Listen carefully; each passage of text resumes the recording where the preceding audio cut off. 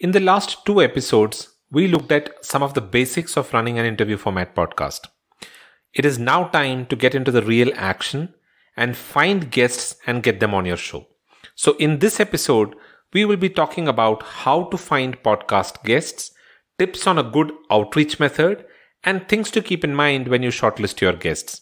And you might want to listen to the episode till the end when I will share a nifty little tip on getting the best out of your podcast guest. Welcome to the Podcasting University. Looking for help on starting your own podcast? Then this is the place to be. We will help you with everything from selecting your topic to promoting and monetizing your podcast in the simplest language possible. Listen to other podcasters who've been through the grind and learn from them as we interview them every week. You can find more details on thepodcastinguniversity.com.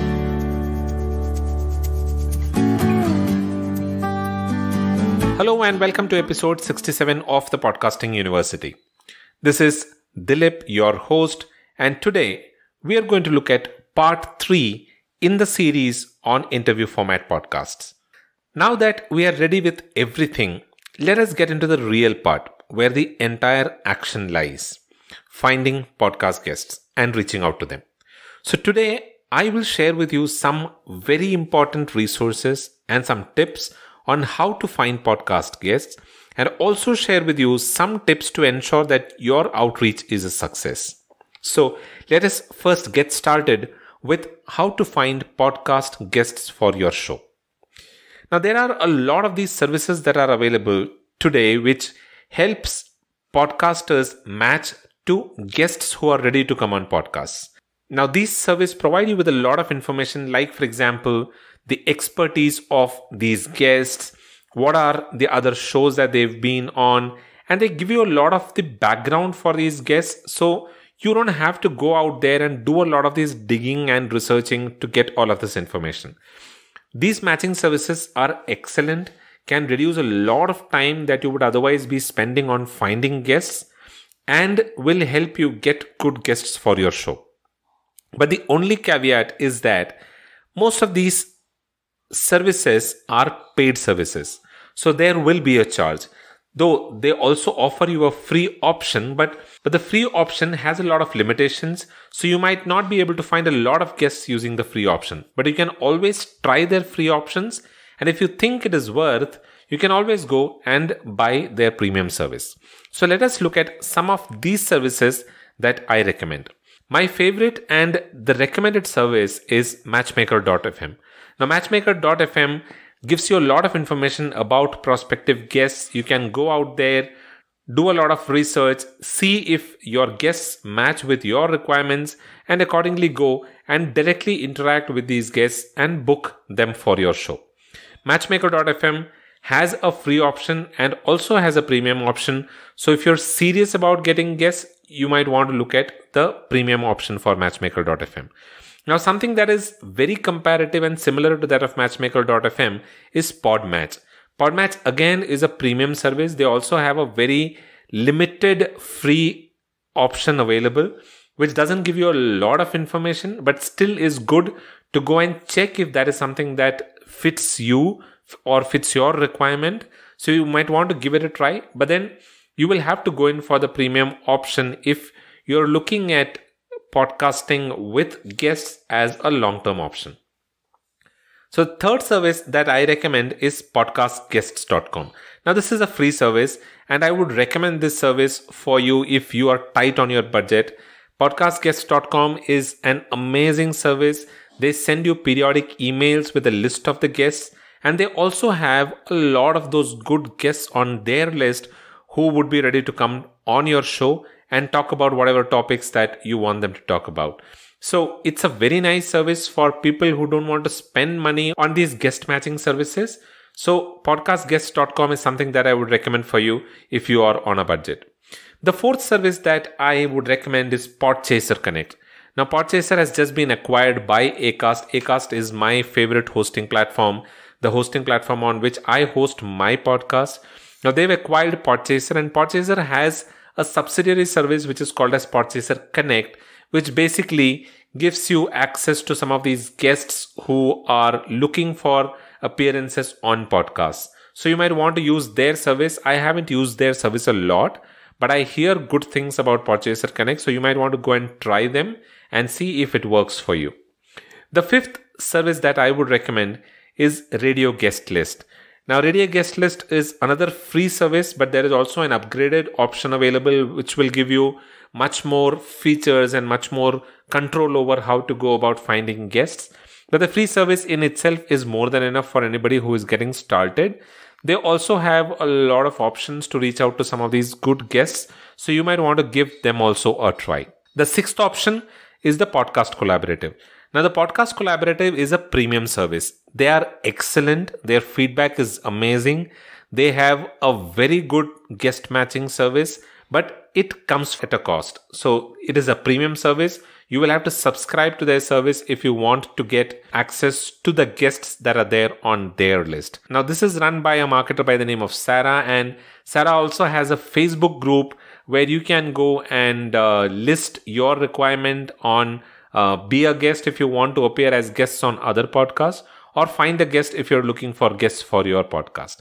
But the Podcast Collaborative is an amazing resource if you're looking at finding guests for your podcast. We're almost five minutes into today's episode and i'm hoping that you are enjoying the conversation until now if you are then then please do consider referring this podcast to your friends, uh, your family, and your social media circles. Whoever is interested in getting started a podcast, they'll be able to find a lot of value in this show. So do consider referring the Podcasting University to people who you think will benefit from this information. Now, let's continue with the conversation. And the seventh option that I would recommend is Facebook groups. Now, if you go and search for Facebook groups or Facebook communities, you will find a lot of these podcasting communities where uh, you have an option of going and posting a find a guest uh, requirement for which people will respond. They'll let you know what their credentials are, what their expertise is.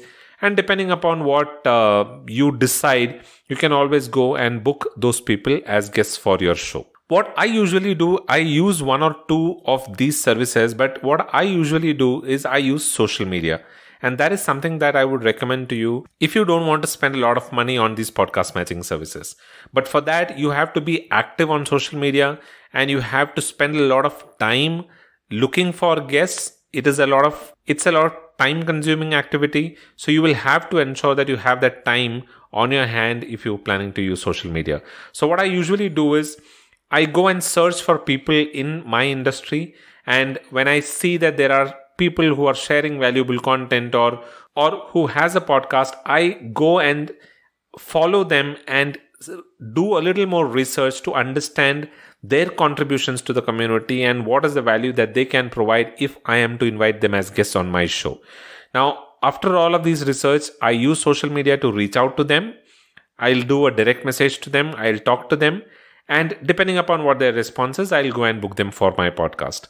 Now that's a, the simplest method to find a guest but then it needs a lot of time and effort because you will have to manually go and search for these guests on social media. Now there are a lot of these facebook groups you can go and join groups in your specific niche. There is a group on pretty much every topic on facebook. So just go and search join those facebook groups. And once you have been an active member in that group, you can always request people to refer guests for your podcast or you can post your requirement there and let people reach out to you. People who are interested in coming to your show as a guest. The fourth thing that i would uh, recommend is that uh, you should use your initial guests circles to get more guests for your show. So leverage that initial guest.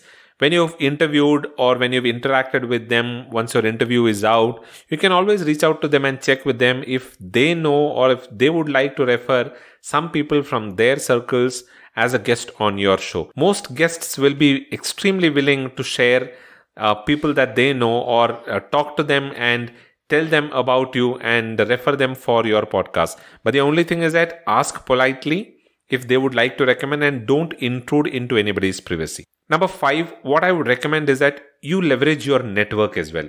Now, if you've already been into whatever it is that you're planning to do in your podcast, for example, the niche that you are in, for example, if you're a food blogger and you've been into food blogging for some time and you're planning to start a podcast, then you've been into that for quite some time. So there is some network that you would have built for yourself. You can always leverage that network to find guests. It's a strategy that a lot of podcasters use, and uh, you will see me talking to Karthik Vijayakumar, who runs uh, a very successful podcast in episode 12, where he shares this strategy, which is something that he used to find his initial guests. Number six, you can always go and search on Google. Now, these are all time consuming activities but it can give you access to a lot of those people who would be willing to come on your show as guests. So all that you will want to do is just search for your industry. You will be getting a list of websites.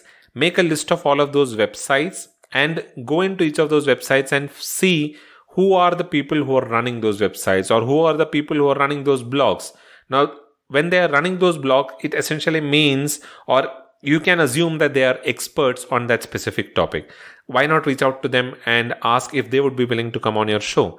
So that's something that you can always do. And you know that there are a ton of blogs that are available on the internet on pretty much everything.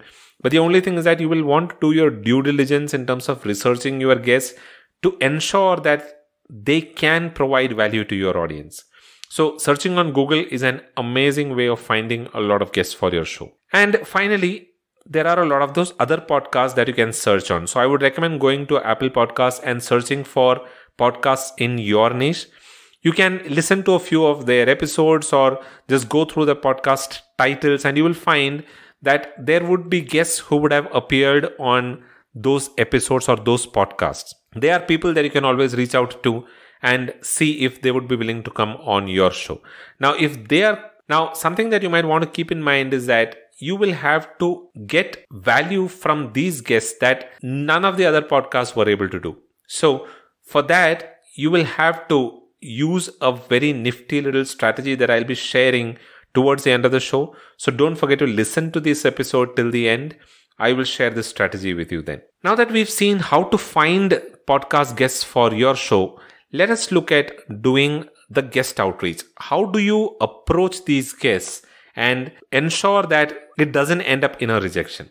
So here are some of the tips to keep in mind when you're reaching out to your guests. Number one, don't be fake. Now, I sometimes get a lot of these guest posting emails from people who say that they are a fan of my blog and that they've been reading my posts for years together. But then the kind of topics that they send me has no connection to what I've been writing for years or what my blog stands for, which clearly shows that they don't know me, they don't know my writing style, and they don't even know my blog niche. So be truthful to your guests. Don't fake that you are a fan. Number two, start on point. Don't start with unnecessary flattery. Almost all your guests that you're approaching know the reason why you're reaching out to them and they can see through your flattery. So start on point and tell them about who you are and why you are reaching out to them. You can then write maybe a line or two on how you found them and why you like their work, etc. And you can also add a few links uh, to your earlier interviews or even give them a link to your website so they can find more about you. But whatever it is that you do, ensure that you're starting your outreach message on point. Number three, make it easy for your guests. Now, setting up an interview can take multiple to and fro on emails. Now, this can be cut and a lot of the wasted time can be saved if you be a little more organized. You can use a calendar, which is one of the many things that you can use to stay organized. There are a couple of calendar tools that I had recommended in my last episode. TidyCal is my favorite uh, tool. You can always go and check them out. I'll leave the link in the show notes. But whatever it is that you use, ensure that you're organized and you're making it easy for your guests to book a slot and come on your show. Number four, don't exaggerate the benefits to your guests. Now, a lot of people take this approach of exaggerating the benefits to their guests just because they want to tell them what's in it for them. Because they think if they are able to tell their guest what's in it for their guests, then the likelihood of them agreeing to come on your podcast increases. That is true, but don't exaggerate it. Outreach to guests work well if you can tell them how coming on your show will benefit them, but it necessarily might not be a big benefit to your guest, especially if you're just starting off. So you don't need to exaggerate your reach and your benefits, etc. Just be truthful. You can tell your guest that yours is a growing podcast and they can get access to a new audience by coming on your show, etc. But limit it. Limit it to whatever is true. Now that we've looked at some of these tips for guest outreach, there are a couple of things that I wanted to tell you about shortlisting guests. Now, these are few things that you need to ensure that you're keeping in mind when you're researching your guests because that will help you get good guests on your podcast. Number one, there are two reasons why you would want a guest. First is if the guest has a huge following on the internet and you would like to leverage their audience. These guests can be both inspiration for your audience and also can be an expert. And the second type of guests that you would want on your show are the guests who can add value in terms of knowledge and information. Now, the usual tendency is to go for the first type of guest that I just spoke about because they are influencers, they have huge following, and you see a method of increasing listenership by bringing them on your show.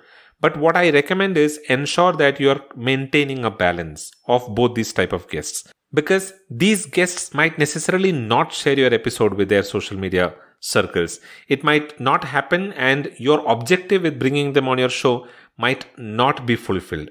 So, what you need to keep in mind is that your objective with bringing a guest on your podcast is to provide value to your audience. So, bring in some of those guests who aren't big names in the industry but can provide value in terms of knowledge and information. Number two, ensure that your guest is relevant to your niche or can provide value that is relevant to your niche. I had brought in Brendan Kumaraswamy some time back. Though Brendan doesn't have a podcasting background, I brought him in because he has excellent knowledge about public speaking and I knew that he could add value to my audience. And in fact, he was able to provide a lot of value to my audience. That episode was one of the most listened to episodes in my podcast. So when you research guests and when you look at guests who you want to bring into your episode, look for guests who are relevant to your niche or who can add value to whatever it is that you are trying to solve for your audience. Don't bring in somebody who doesn't have any connection with whatever it is that you're trying to do with your podcast. Getting a guest on your podcast isn't difficult. The only thing is to be truthful and straightforward with your guests.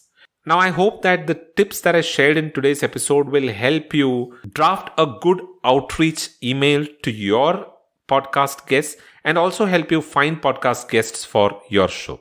Now, finally, on to my tip. You want your guests to share unique tips and value on your podcast. But some of your guests would have appeared on multiple other podcasts and finding where they appeared and what they spoke about can be difficult because the questions that you are planning to ask them might be something that other podcasters would also have asked them and they would have answered those questions. So doing that as a repetitive activity doesn't make sense. It is not going to provide any additional value to your audience. So how do you know what all podcasts these guests appeared on and what is the information that they've already shared? I use a website called owltail.com where you can search for a guest name and all of the podcasts where they appeared as guests will show up. Listen to the episodes and make notes. Then frame unique questions for your show and you will be able to get unique value from your guests. So that's all that I have for this episode. I hope you enjoyed all of the tips that I shared in this episode. If you did, then don't forget to subscribe to the Podcasting University because that way you won't miss any of the episodes that I release. Do visit thepodcastinguniversity.com forward slash 67 for the show notes and the printable transcript for this episode, and also be and I'll also be sharing all of the resources that I just mentioned in there, the links to all of these resources on the show notes there. So don't forget to visit thepodcastinguniversity.com forward slash 67 for the show notes. The Podcasting University is available on pretty much all podcasting platforms. So you can pick your favorite podcasting platform and give it a listen there. You'll also be able to find the links to the prominent platform on thepodcastinguniversity.com forward slash 67. Now, if you're new to podcasting, I would recommend that you join my free podcasting course which is a 10 day e course where you will learn everything that you need to know about getting started with your podcast. That's all that I have for this week. I'll be back again the next week with more podcasting related tips. Until then, keep listening to the Podcasting University. This is goodbye from Dilip. You all have a wonderful rest of the week.